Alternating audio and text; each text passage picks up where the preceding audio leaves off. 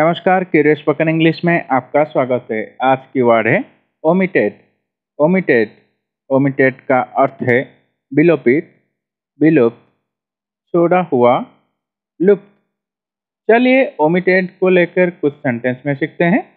She omitted the good chance उसने अच्छे मौके को छोड़ दिया। दिस चैप्टर में बी ओमिटेड इस अभ्यास को छोड़ा जा सकता है।